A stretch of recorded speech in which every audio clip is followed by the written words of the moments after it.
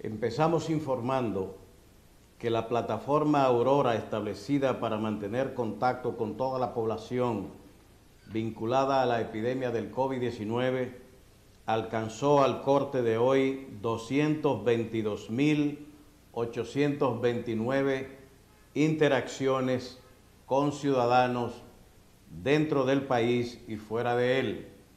Igualmente, el número de asistencias médicas remotas ascendió a 8.485, con un total de emergencias atendidas de 307.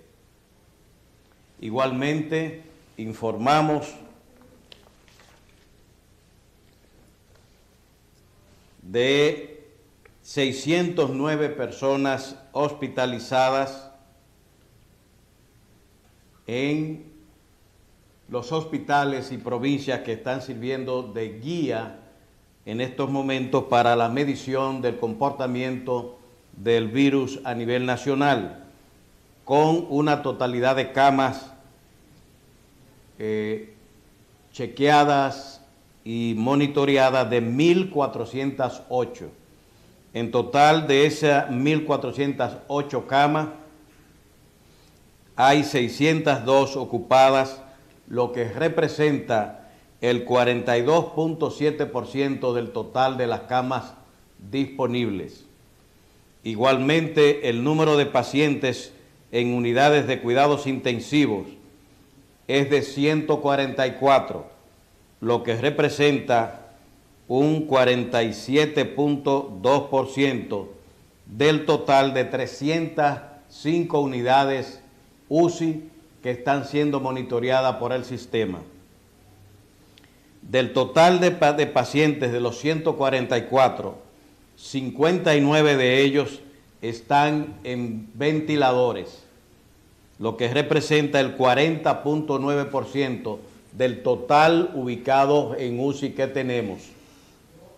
El número de fallecidos, 7, y el total de alta, 76. De manera que estos datos nos dan una orientación del comportamiento general que van teniendo las camas y hospitalizaciones en el Gran Santo Domingo, Santiago, San Francisco, La Vega, Puerto Plata, Hermana Mirabal, María Trinidad Sánchez, San Pedro de Macorís, que son lo que usamos de indicadores para el seguimiento de la epidemia. Cada día vamos incorporando desde luego nuevos hospitales a el seguimiento a que estamos haciendo alusión. En el día de ayer hicimos una intervención o inició la intervención de la provincia de Puerto Plata con medidas de aislamiento que están siendo tomadas de limitación de tránsito, etcétera, que ya han sido expuestas por la prensa nacional y por el ministro de la Presidencia. Las acciones fundamentales, aparte de aislar y controlar el movimiento dentro del municipio cabecera de Puerto Plata, incluyen la búsqueda, identificación y tratamiento de enfermos y portadores a través de detección, diagnóstico, notificación, de casos hasta su periodo de convalecencia y total recuperación, o sea, a través de las actividades de vigilancia e investigación de campo. Igualmente queremos informar y agradecer al obispo de la provincia de Puerto Plata, Julio César Corniel Amaro por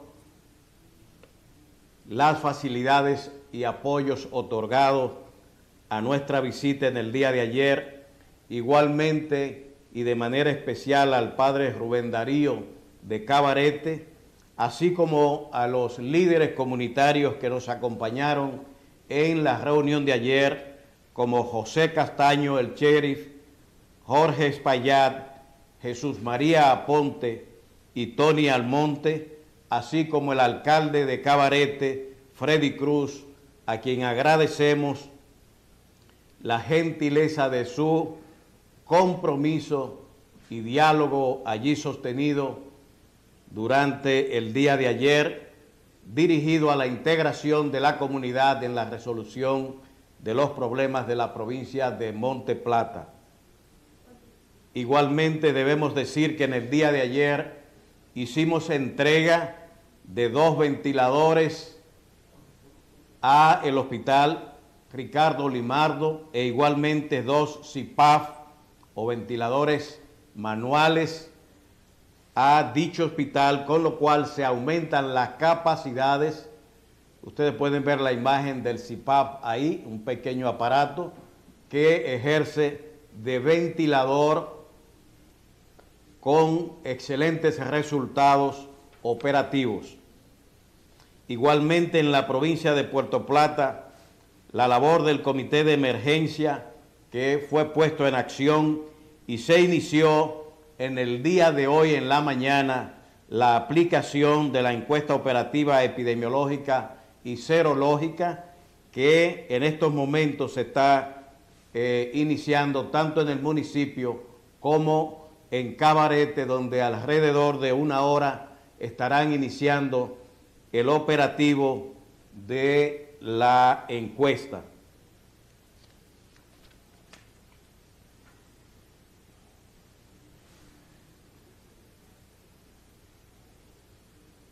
Por otro lado, queremos pasar esta información debido a la importancia que tiene el hecho vinculado a la intoxicación con metanol que, como ustedes saben, ha afectado a un total de 164 personas, de las cuales 53 siguen vivos, uno en estado de consideración y 110 fallecidos. Aquí pueden ustedes tener la distribución de los casos de defunciones por intoxicación por metanol según provincia.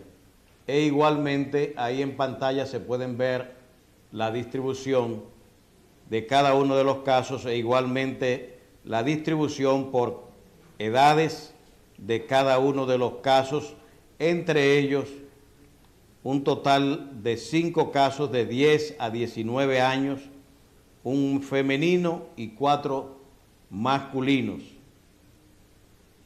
El número de, defunciones está entre los 20 y 29 años 5, 30 a 39 años 20, 40 a 49 años 45, etcétera, según se puede ver en la pantalla anexa. Pasamos de inmediato a dar lectura al boletín epidemiológico número 41. La situación global del virus al día corte del día de ayer es de 2.954.222 casos confirmados, de los cuales 76.026 corresponden a casos nuevos. El número de defunciones al día de ayer, 202.597, de los cuales 3.932 fueron defunciones nuevas a nivel mundial. En la región de las Américas se reportaron al día de ayer 1.179.607 casos confirmados, de los cuales 39.087 fueron nuevos y un total de defunciones de 60.211 y de ellos 1.722 sucedieron en el día de ayer. En la República Dominicana el número de casos confirmados asciende a 6.652, Casos nuevos, 236. Fallecidos, 293. Total de letalidad, 4.40%. El número de recuperados que han salido de clínicas y hospitales, 1.228. Los descartados por PCR, 18.716 y el total de muestras procesadas, 25.368. Del total de casos confirmados,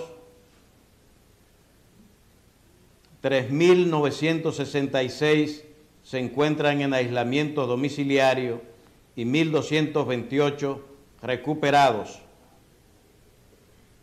De los casos hospitalizados, 154 se encuentran en unidades de cuidados intensivos, según hemos informado, el 40.28 de ellos en el Gran Santo Domingo, el 36.8 en Santiago. En las últimas cuatro semanas, la positividad de las muestras procesadas es de 25.54%.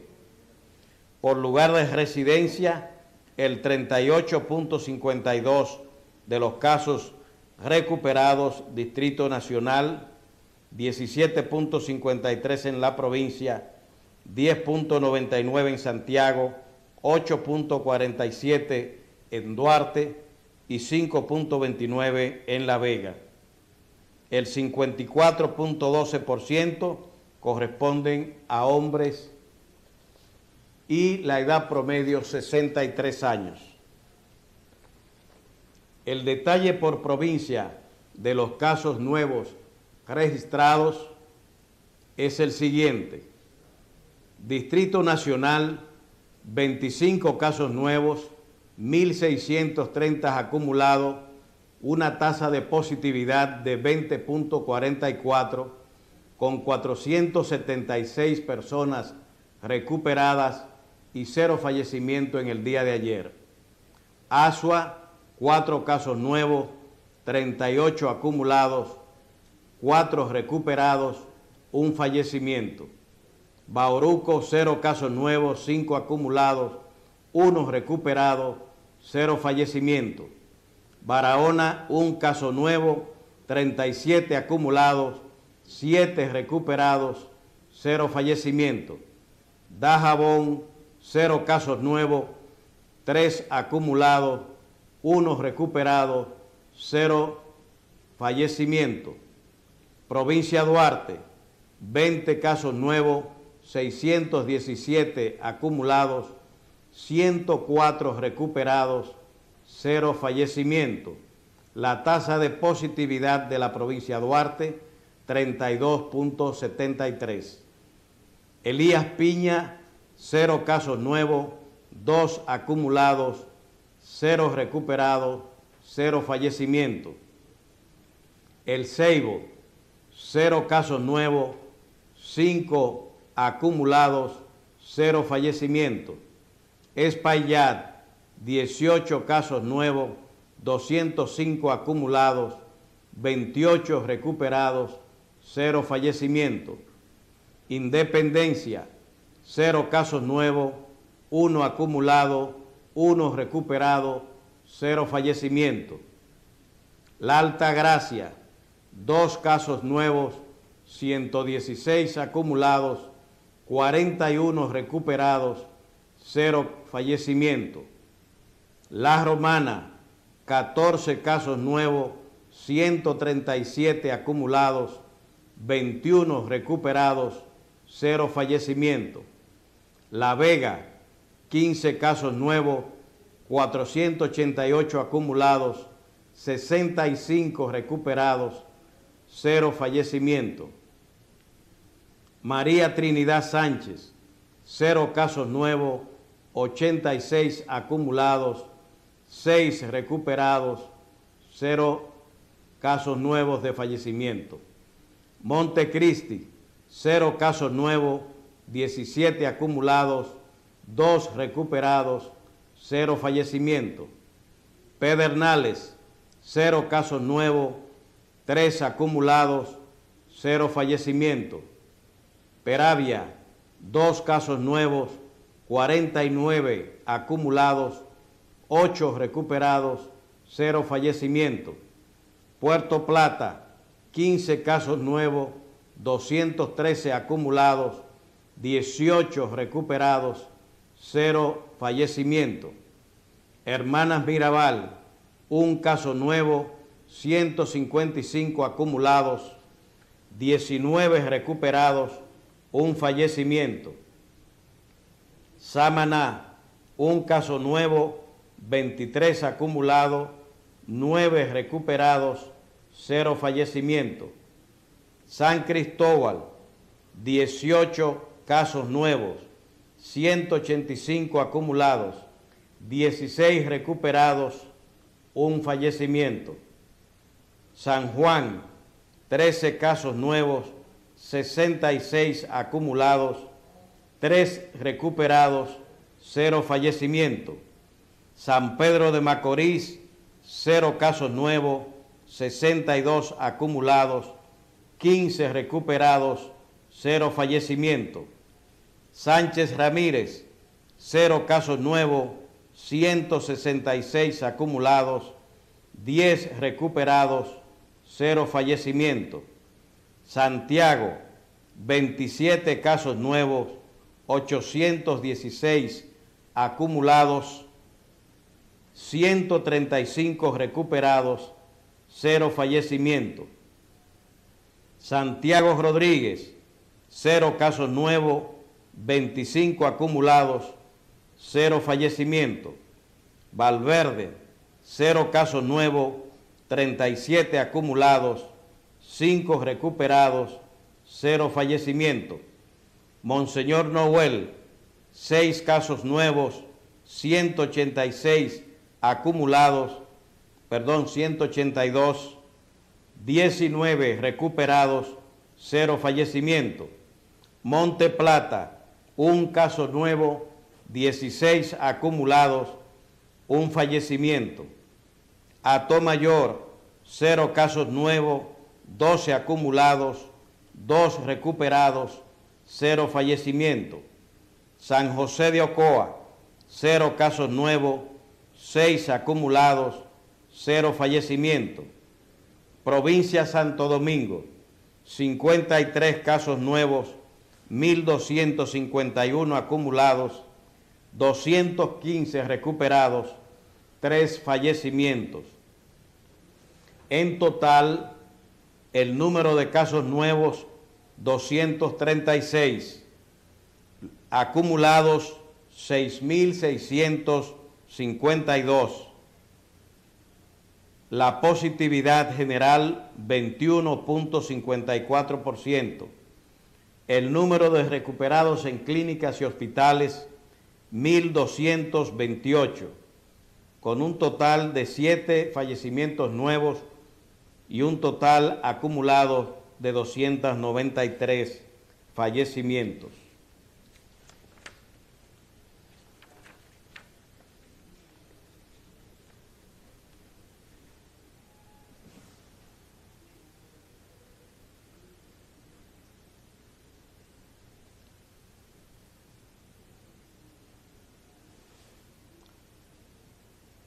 De los fallecimientos, según los antecedentes presentados por los pacientes, el 29% de los fallecidos presentaron hipertensión arterial y el 23% diabetes mellitus. Las recomendaciones. Mantenemos las indicaciones de higiene general para toda la población, tanto de manera individual con el lavado frecuente de las manos con agua y jabón abundante o el uso de gel de alcohol en los casos de tener disponible esa alternativa. Igualmente extremar las medidas de higiene en aquellos hogares que presenten sintomáticos o personas positivas o que hayan sido visitadas por personas positivas. Igualmente, extremar las medidas de higiene dentro del hogar y en el área pública por parte de los ayuntamientos y las autoridades en general. Recordar el uso de mascarilla como una obligación para todos aquellos pacientes sintomáticos o positivos o que estén circulando en la vía pública. Toda persona que presenta síntomas o signos de esta enfermedad o enfermedad respiratoria aguda deberá mantener el cuidado y el aislamiento y el uso de la mascarilla. En caso de tos, fiebre, dificultad respiratoria, dolor de garganta o del cuerpo, inmediatamente procurar la asistencia en un centro de salud a los supermercados, bancos, recordar las medidas de separación física de sus clientes y exigir para el ingreso a estos establecimientos la mascarilla obligatoria a todos sus usuarios. A los prestadores de servicios de salud, extremar las medidas de protección del personal de salud en emergencias y áreas de triajes, así como en las unidades de cuidados intensivos e intermedias. Igualmente, a las direcciones provinciales y de salud, aumentar las medidas de monitoreo y el levantamiento y seguimiento de casos que ya han sido puestos en sus manos mediante los planes específicos de acción en cada una de las comunidades. Para el día de ayer también debemos recordar a la DPS de Puerto Plata la activación en el día de hoy de las medidas ya programadas para su implementación, siguiendo el cordón epidemiológico de la provincia de Puerto Plata, esencialmente de su municipio cabecera, San Felipe de Puerto Plata. Estas medidas en Puerto Plata se mantendrán durante siete días revisables. Queremos igualmente llamar a toda la población, especialmente de la provincia de Puerto Plata y su municipio San Felipe, a mantener y participar junto a todas las juntas vecinales que se han integrado a la búsqueda activa y notificación de casos, a redoblar los esfuerzos junto a la Dirección Provincial de Salud en el municipio de San Felipe y otros municipios con fines de reducir la incidencia de la enfermedad en la provincia de Puerto Plata. Queremos igualmente expresar nuestro agradecimiento a la participación de la Fuerza Aérea y la Policía Nacional en la provincia de Puerto Plata durante el día de ayer y los subsiguientes, dando un apoyo importante al Ministerio de Salud y al Servicio Nacional de Salud en las labores que se llevan a cabo de manera especial en el municipio de San Felipe de Puerto Plata. Importante resaltar que dentro de las labores de, prevención se están reforzando las zonas fronterizas mediante la habilitación de centros de aislamiento en provincias estratégicas. Por eso en el día de ayer vamos a disponer de dos centros en la provincia de Puerto Plata, en Sabaneta y probablemente en otro municipio también, con el apoyo de los grupos comunitarios, con lo que hemos mantenido una reunión importante durante el día de ayer. Agradecemos igualmente a las empresas e instituciones que continúan sumando su hombro a la causa de esta emergencia nacional mediante donaciones de insumos, e igualmente queremos mencionar a la empresa Farmaconal, quien ha facilitado soluciones antisépticas que serán distribuidas y entregadas a los hospitales de mayor demanda de el Sistema Nacional de Salud. No queremos dejar pasar por alto la labor del cuerpo médico de enfermeras y bionalistas, así como el personal de salud y de oficina, a los choferes que se han entregado día y noche al cumplimiento de la misión que se le ha encargado de manera permanente, haciendo esfuerzos extraordinarios e igualmente expresar nuestra solidaridad y apoyo a todos aquellos empleados y personal médico y sanitario que ha caído en esta batalla contra el COVID-16 Especialmente debo mencionar al profesor Solís, entomólogo importante de este Ministerio de Salud Pública y que gracias a Dios va sobrepasando la enfermedad bien, igualmente a la epidemióloga que estaba responsable provisionalmente de la provincia de Duarte, la doctora Ginette a quien expresamos nuestro apoyo y esperanza de reintegración rápida a las labores de trabajo que se realizan. Igualmente al doctor Morisetti de Provincia Duarte, que se mantenga bajo cuidado y protección. Muchísimas gracias. Gracias, ministro. Buenos días. Eh, voy a tomarme el momentico para hacer una pequeña pregunta. Y es que ayer usted informó que se iniciará en Puerto Plata la aplicación de las encuestas nacional de serología o inmunológica. ¿Pudiera explicarnos en qué consiste esta medición y cuáles objetivos se persiguen con la realización de la misma? Gracias. Ok, repito. repita, por favor. repito. Usted informó ayer que iniciarían en Puerto Plata eh, la encuesta nacional de serológica o inmunológica. ¿Pudiera, ¿Pudiera usted explicarnos en qué consiste esta medición y cuáles objetivos se persiguen con la realización de la misma?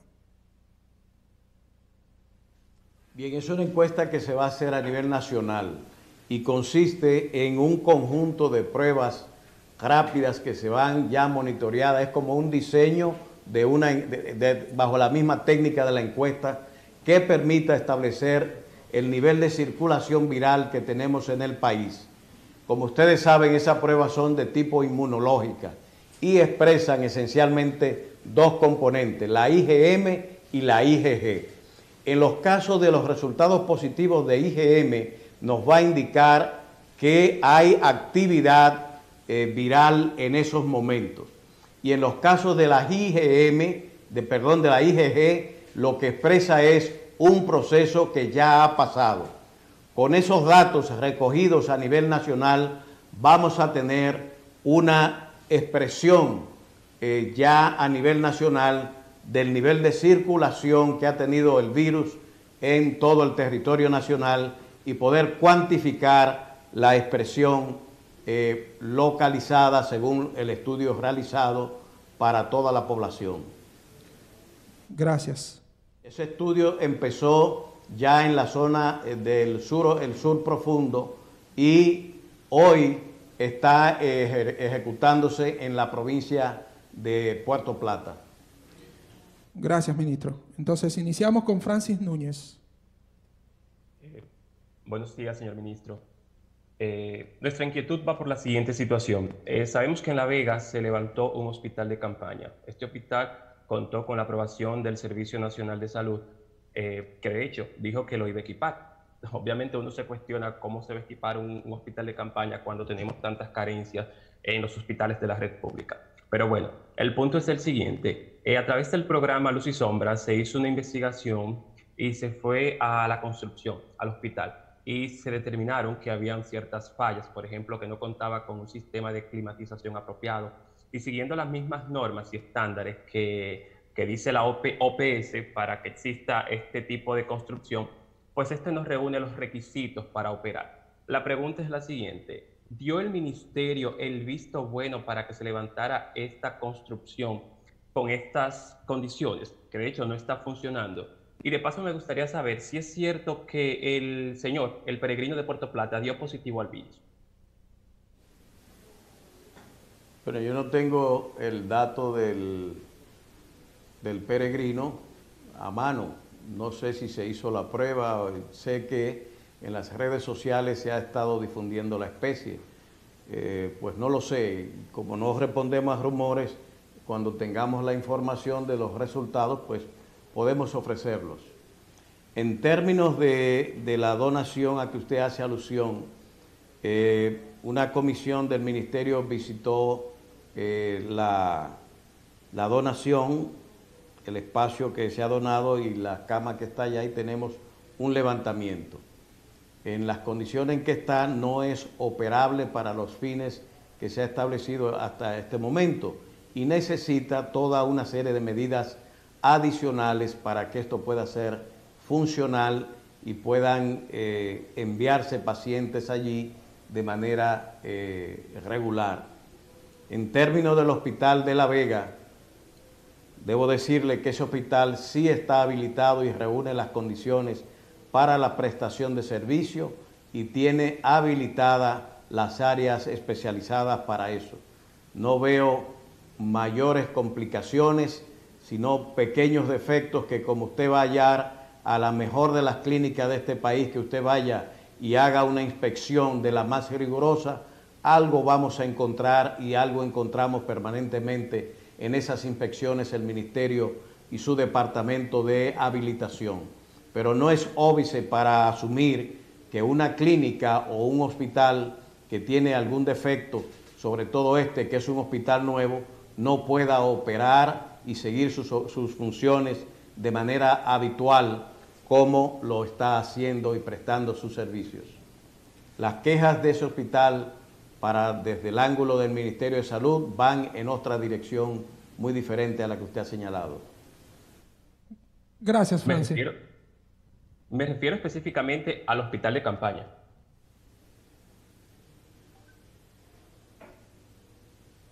No lo escucho. Les decía que mi pregunta es específicamente sobre el hospital de campaña. No me refería al hospital Morillo King. Ah, bueno, sobre la, si es sobre ese solamente, pues eh, ya acabo de decirle que eh, las condiciones no están aptas en este momento para eh, la prestación de servicios. hay que hacer toda una serie de operaciones que se deben llevar allí con fines de que concluya eh, la preparación de, esa donación. Pero nunca dieron ustedes el visto bueno como lo dio el CNS para que se levantara. No, es que nosotros no damos, o sea, ahí se el SNS hizo la recepción de la donación y hizo bien recibiéndola porque estamos recibiendo eh, donaciones de todos aquellos que quieran aportar a la causa nacional contra el coronavirus. De manera que nosotros no podíamos rechazar la donación, fue recibida y desde luego en la propia opinión pública se ha estado debatiendo la operacionalidad o no del mismo y lo que queremos es justamente ver en qué medida, eh, que es otra cosa y es lo que el Ministerio va a intervenir, es la habilitación del espacio para la prestación de un servicio, sea este de la naturaleza que sea, que puede ser un servicio intermedio, que es más bien por donde estoy mirando las posibilidades que tiene. Muchas gracias, señor ministro. Gracias a ti, Francis. Eh, continuamos con Ruskin Pimentel. Buenos días, señor ministro. Buenos días a los demás comunicadores. Eh, señor ministro, una sugerencia pequeña y me disculpa. Cuando usted hace su alocución todos los días en, términos de las provincias, vemos que dice Montecristi y luego pasa a Pedernales, eh, no, no, pasamos por el medio de Monteplata, a ver si lo podría añadir, que eso es importante para la gente allá. Eh, y disculpe por la recomendación. La pregunta, señor ministro, ¿cuántas máquinas físicas en sector público o privado existen para hacer pruebas PCR en el país y su eh, capacidad diaria de hacer eh, pruebas si funcionasen en su 100%? La cantidad de máquinas si las tiene y el toque de queda vence próximamente. El Ministerio de Salud Pública recomendará continuar con el toque de queda. Muchas gracias.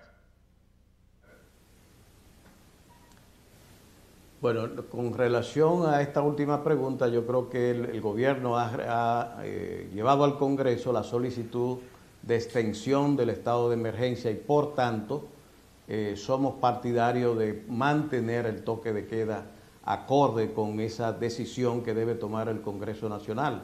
no vemos motivos para su eh, eh, sacar de, este servicio que se está prestando a la población con fines de facilitar el distanciamiento social. Todo lo contrario, creemos que se debe mantener eh, y ser uno de los elementos de trabajo que se han empleado en este sentido. En algunas provincias eh, y de manera particular que se pueda eh, hacer, como se acaba de, implementar ayer en Puerto Plata, pues medidas más restrictivas a la circulación y el tránsito y a la supervisión de, las personas con fines de evitar eh, impactos peores en provincias especiales, de manera que estamos de acuerdo con ello. Con relación a los equipos, el Laboratorio Nacional tiene un COVAS 6800 de, de Roche que está ya en funcionamiento y tiene una capacidad por bandeja de 192 muestras.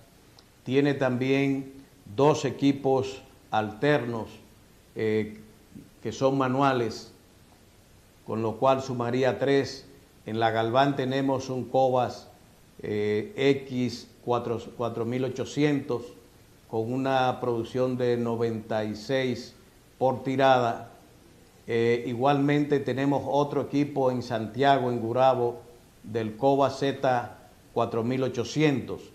Ellos suman un total para el sector público de eh, cinco equipos, más uno que tenemos donado por Energía y Minas, que está en fase de preparar la infraestructura en la cual se pueda montar con una facilidad del el laboratorio del Ministerio de Agricultura que estamos gestionando. Con ello sería en total entonces de seis equipos eh, de gran capacidad, aparte de los privados, como son el equipo, los equipos de eh, referencia, Amadita, Patias Rivas y una gran cantidad de equipos para PCR que se estaban usando y se usan para procesamiento eh, de ARN en diferentes hospitales para tuberculosis y que en estos momentos van a ser eh, usados también para la realización de pruebas de, PCR para el COVID-19 y son ya procesos que se van habilitando una serie de hospitales como Plaza de la Salud, eh, y, otros hospitales. Funcionales, funcionales, ministro, y perdone, funcionales actualmente en el Estado Dominicano tenemos cinco equipos, ¿correcto eso? ¿Y cuál es su capacidad diaria de hacer pruebas? Funcionales, eh, actualmente tenemos cuatro equipos y como le estoy diciendo, en total pudieran, pueden producir a plena capacidad unas 1.500 pruebas. Gracias. Gracias a ti. Continuamos con Camila García.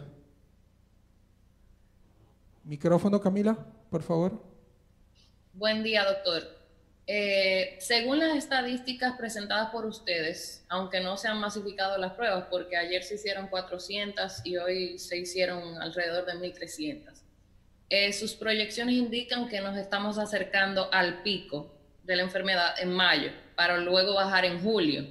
Suponiendo que logremos vencer el coronavirus y que no vaya a aparecer otro peregrino, República Dominicana tiene un reto inmediato que nadie ha mencionado y se llama Haití, donde hay una crisis humanitaria y sanitaria permanente, donde hay 918 médicos para 12 millones de personas y donde tienen una gestión muy poco transparente en todos los sentidos. ¿Qué medidas se están tomando o se tomarán en nuestro país para evitar que la ola de retorno de los inmigrantes haitianos no sea catastrófica y que dé al traste con todo el esfuerzo que se, ha hecho aquí en nuestro país. Gracias. Bien, la frontera en estos momentos, las agencias principales están de contención de la circulación. Así como estamos conteniendo la circulación a nivel nacional, eh, con toque de quedas y otras medidas adicionales como la que se tomó en Puerto Plata, la frontera es todavía más cerrado la observación y limitación del tránsito. Haití siempre ha sido para nosotros pues un, desafío desde el punto de vista sanitario eh, y con los cuales llevamos de común acuerdo una serie de programas que continuamos trabajando. En el caso del COVID, pues lógicamente, como usted dice, es un desafío que en estos momentos está bajo control y que esperamos que una vez que en el país se haya producido el control definitivo e iniciemos la curva de descenso que esperamos eh, para pronto, va a iniciarse una eh, migración, lógicamente, hasta por autodefensa de mucha de, esa gente hacia el país.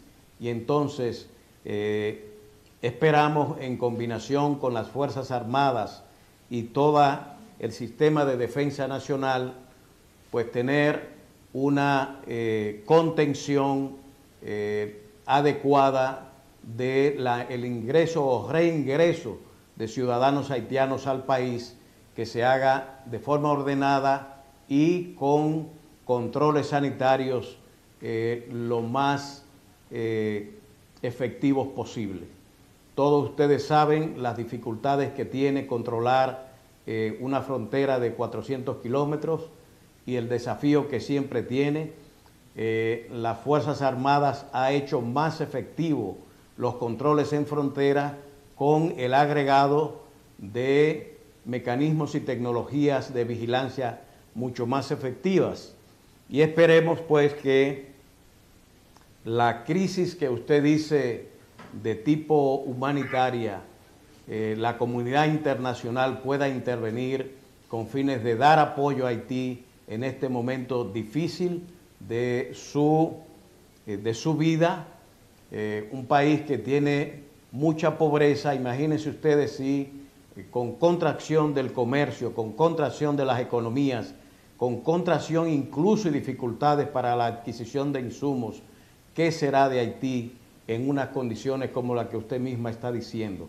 De manera que eh, desde el Ministerio de Salud lo que estamos haciendo es prepararnos para la eventualidad que pueda venir pasada eh, la curva a la que usted hace alusión de qué medidas específicas y qué mecanismos tomar en coordinación con las autoridades haitianas y sobre todo con lo que volvemos a repetir, la, asistencia internacional para Haití que debe llevar a cabo tanto Naciones Unidas como la comunidad europea e internacional en general.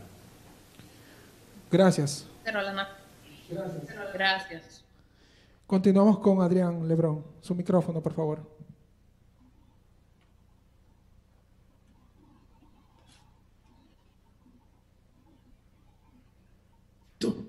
Listo. Buenos, buenos días, señor eh, ministro, ministro Adrián Lebrón del Grupo de Comunicación eh, Tendencia. Gracias por las informaciones rendidas.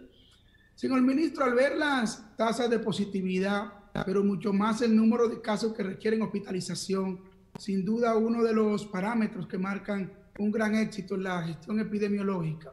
Al mismo tiempo, conociendo la capacidad instalada de camas de aislamiento y unidades de cuidados intensivos, junto a los acuerdos con los centros privados para ampliar la disponibilidad, indican que el país, si se quiere, elevó la zona de seguridad para manejar un pico más alto eh, y que nos encontramos en una especie de, zona protegida. No obstante, la necesidad de aumentar eh, las pruebas queda limitada por el procesamiento en la toma de muestras, una vez aumentado la capacidad de procesamiento.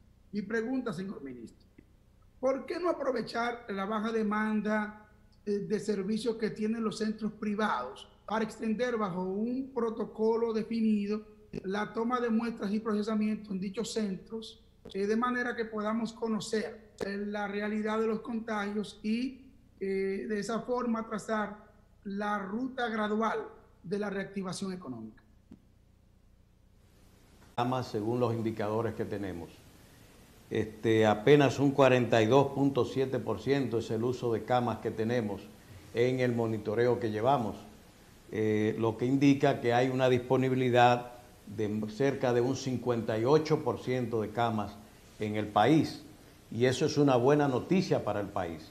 Pero igualmente pasa si usted mide el uso de las UCI, de 305 que estamos monitoreando, hay 144 empleadas en este momento en las camas que representan el 47.2, de manera que queda un remanente de 53% de camas de UCI disponibles en, en ese sentido. Pero además, acerca de la magnitud de cómo se va produciendo, si tomamos los 144 casos que están en UCI, el 40.9, es decir, 59 de esos pacientes están en ventilación. De modo pues que eso nos da también otra idea más de cómo el país, eh, contrario a los vaticinios pesimistas y todas las acusaciones que se hacían al gobierno nacional sobre sus planes y su accionar, la República Dominicana y ya está en los indicadores internacionales, sí ha respondido adecuadamente y ustedes verán en la medida en que se va integrando toda esta data a partir del próximo lunes, las gráficas eh, que necesitan para que tengan una idea entre el impacto real que ha tenido el virus en el país ah, en términos de número de casos, pero también allí van a estar compilados el total de casos de las salidas clínicas como esta que hoy estamos señalando aquí, que fueron 76 que salieron de hospitalizaciones, pero las de alta epidemiológica, que son la mayoría de, de los pacientes, cuando se sumen el número de casos positivos que ustedes ven en la gráfica de la página 1 del boletín, prácticamente estarán al mismo nivel que eh, las partes de positivos y recuperados, lo que va a expresar de que la población dominicana ha dado una respuesta bastante eh, capaz desde el punto de vista inmunológico y de resistencia al virus, manteniendo una tasa de letalidad eh, baja, como va a haber cuando se ajusten esos números, que bajará por debajo del 4% en la República Dominicana. Gracias, ministro. María Teresa Morel, por favor. Buenos días, ministro. María Teresa Morel para el periódico El Caribe. Eh, ministro, quisiéramos saber cuál es la procedencia de las pruebas rápidas que está empleando el gobierno en los operativos masivos que está realizando y cuál es el nivel de confiabilidad de esos resultados, porque tenemos eh, reportes de que en Pimentel, por ejemplo, hay, eh, se han detectado falsos positivos y falsos negativos también, con lo cual se requiere también confirmación de PCR y aprovechar para preguntarle eh, ¿Por qué la cantidad de, pruebas PCR eh, se mantiene oscilante? Ayer solamente se realizaron 491, pese a que usted dijo que ya el COVA 6800 ha aumentado la capacidad del, país para procesar las pruebas. Y que no se quede también el tema de Duquesa. que está en una situación ahora mismo muy crítica y queremos saber qué hará el ministerio para resolver. Bien, con relación a Pimentel, se han hecho unas pruebas rápidas, no solamente en Pimentel, en algunas otras localidades, que fueron descartadas por el ministerio debido a que no se siguió los criterios para su aplicación. Y esa es una de las razones que está conduciendo a pruebas falsos positivos o falsos negativos también.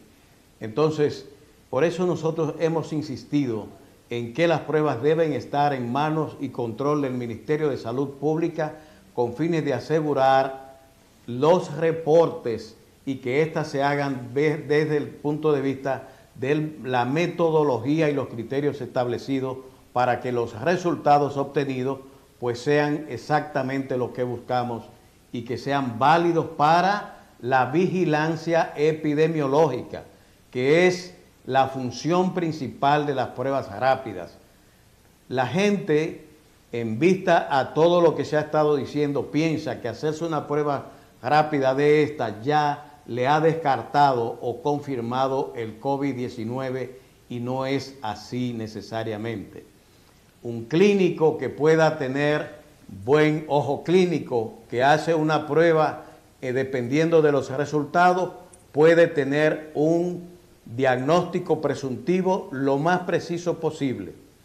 Pero el PCR es la prueba definitiva de confirmación o otros mecanismos que ya se ha visto que las imágenes radiográficas y de eh, tomografía pues ofrecen una fidelidad diagnóstica importante. Eh, allí se ha, producido esto y estamos pues eh, corrigiendo esa situación que se ha producido mediante la realización de PCR. Con relación al número de pruebas, ayer, nos, domingo, pues lógicamente el montaje que se hicieron fueron eh, una sola eh, tirada en el 6800. Eh, Pero a partir de hoy, pues usted verá incrementada el número de pruebas que van a estar saliendo en el país. Es un proceso de ajuste que estamos haciendo, sobre todo en el personal, porque capacitado para esto solamente habían cuatro personas.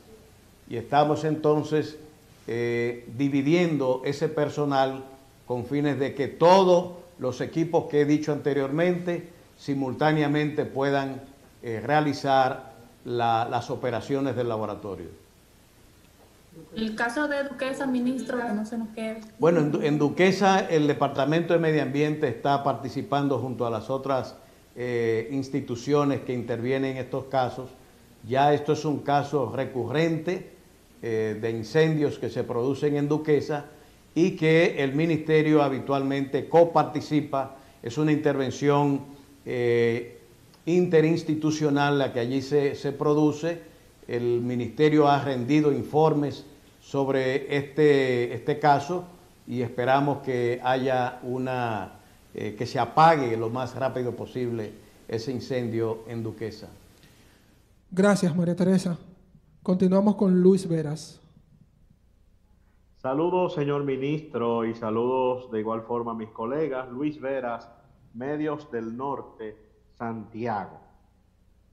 El ojo del huracán, pudiésemos decirlo de esa manera, actualmente es Puerto Plata, eh, debido a la situación ocurrida el pasado domingo y vemos eh, que en el día de ayer pues se tomaron algunas medidas como el cordón sanitario. Nuestra pregunta es la siguiente, señor ministro. ¿Es suficiente el tema del cordón sanitario a sabiendas de que muy probablemente ocurrieron situaciones el domingo de que todo el que estuviera eh, en el evento del famoso peregrino en Puerto Plata no fuera meramente de Puerto Plata, ¿Por qué no diseñar ahora como plan piloto un mecanismo de un toque de queda 24 horas en la provincia de Puerto Plata y ver cómo funcionaría eh, en este sentido para así poder implementar en parte del territorio nacional si fuese necesario? Mire, el, comportamiento del virus a nivel nacional es muy desigual.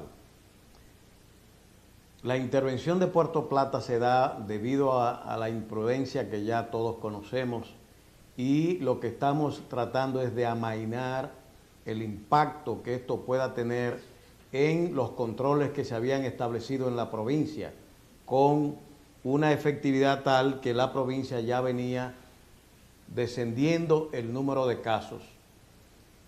Para que saber el impacto definitivo de eso que pasó el domingo, necesitamos una semana al menos con fines de que el contacto que allí se dio y sus efectos empiece a producir los primeros sintomáticos en la población y los primeros eh, cargas de anticuerpos de las personas que estuvieron expuestas allí, que permita la medición, porque al inicio es imposible del domingo eh, a hoy tener anticuerpos en, en, ninguna de las personas que se hayan contaminado allí.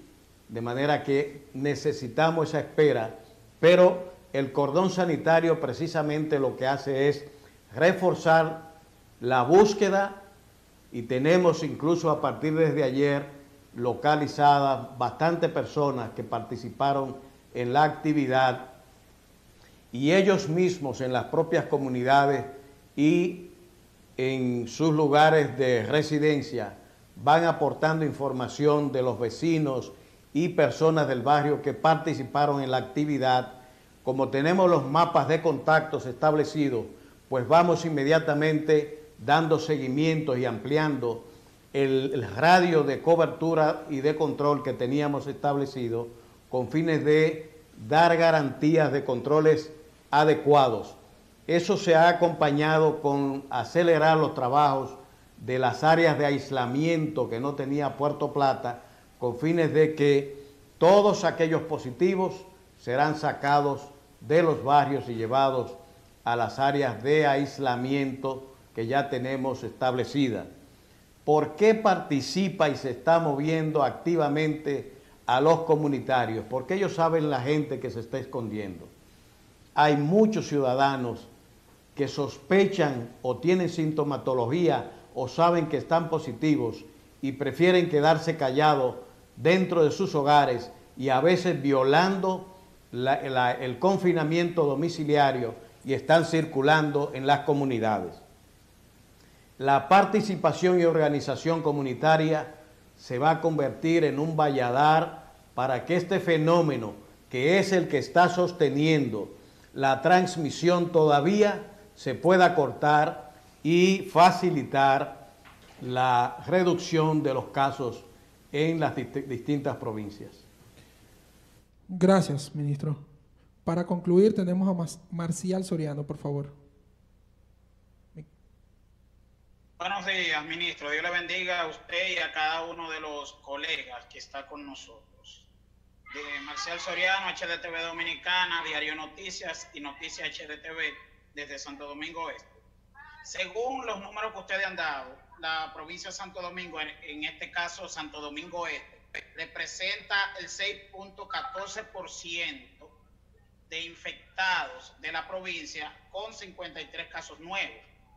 Resulta que en Santo Domingo Este, eh, las autoridades de aquí ni, la, ni el Senado, ni la senadora, ni la gobernación han presentado un plan de contingencia, con los cuales eh, hay un problema de que está el mercado de los minas, que tenemos entendido que hay varios infectados donde hay mucha gente, eh, también la bomba de los minas, Megacentro y los demás bancos, que no se está cumpliendo con el reglamento. Y ahora que el Ayuntamiento Santo Domingo Este eh, tomó la decisión en el día de ayer de asumir la cuarentena en 60 días para ayudar. Le pregunto, en Santo Domingo Este todavía no se han hecho pruebas. Tenemos el índice más alto de la provincia de Santo Domingo. La gente no está cumpliendo con lo dispuesto por salud pública y el gobierno. Lo correcto no sería usted como organismo hablar también con los gobiernos municipales para que le ayuden a contrarrentar esto, ya que estamos viendo que por la falta de autoridad en el municipio, los contagiados siguen en aumento.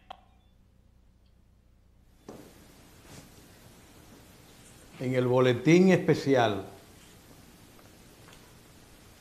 la provincia de Santo Domingo registró 53 casos y su participación a nivel nacional representa el 17.51%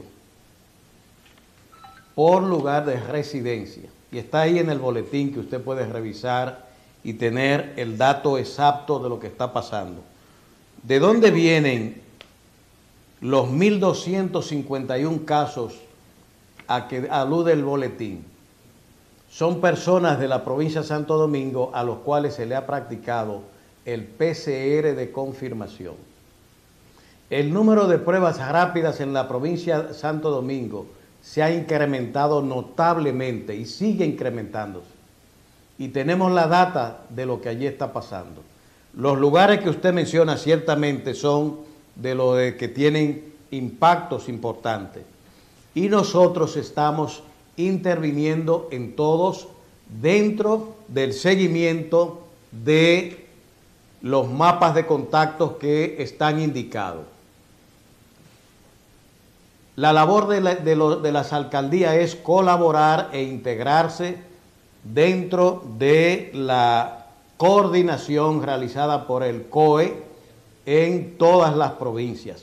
Todas las alcaldías deben participar en esa labor y colaborar para aportar lo que a cada quien le toca. Ese saneamiento eh, de calles, recogida de basuras, etcétera, tiene que realizarlo las alcaldías. El ministerio ha dado las indicaciones de lugar tanto para ciudadanos, para familias, como para aquellas personas que circulan en el ambiente público con fines de evitar el contagio. Esas medidas tienen que ser respetadas por todos. Como usted dice, en muchos lugares, y la provincia Santo Domingo es muy activa en ese, en ese sentido, no se respetan esas medidas que se han indicado ni los protocolos. De manera que por eso usted ve cómo el número de casos se mantiene en esa provincia, que va oscilando en la medida en que las autoridades aprietan, la medida en que vamos haciendo más pruebas, vamos detectando mucho más, pero en general la provincia mantiene no el 6%, sino el 17.5% del total de casos a que hemos hecho alusión. Somos partidarios junto a usted de que debemos, eh, junto a las alcaldías, a la policía y a todos los municipios, organizar una intervención más agresiva con fines de evitar la transmisión. Ahora bien, el virus no es una lluvia que cae, sino una transmisión física de persona a persona. Guardemos el, espaciamiento físico entre las personas, usemos las mascarillas, obliguemos los propios comunitarios a que la gente deje de aglomerarse, que use su mascarilla y se deje de andar creando mayores dificultades a su propia comunidad mediante la violación de las indicaciones que estamos haciendo permanentemente por la vía de comunicación, por la vía de publicidad, etcétera, en ese municipio. Y esperamos que en los próximos días, con las intervenciones que se van a hacer del Gran Santo Domingo, podamos tener una provincia Santo Domingo con mejores datos que lo que tiene actualmente. Quiero finalmente anunciar una donación de la Lotería Electrónica Leisa por vía de su comité de accionistas y de su presidente Pedro Alegría de una donación consistente en 119 termómetros, 71.500 guantes, 45.500 mascarillas quirúrgicas, 3.650 mascarillas N95, 250 lentes desarmados, desarmables, 400 lentes, 408 lentes armados, 240 trajes de bioseguridad de color blanco y 108 trajes de bioseguridad de color amarillo. Con esto queremos alentar a todo el empresariado que ha estado acompañándonos en esta lucha contra el COVID-16, a la que cada día debemos sumar esfuerzos colectivos en búsqueda del bienestar también colectivo. Muchísimas gracias. Muchísimas gracias a usted, ministro. Hasta mañana.